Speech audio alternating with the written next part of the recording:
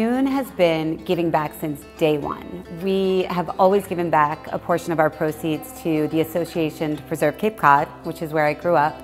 But my absolute favorite charity that we work with is called Smile Mass.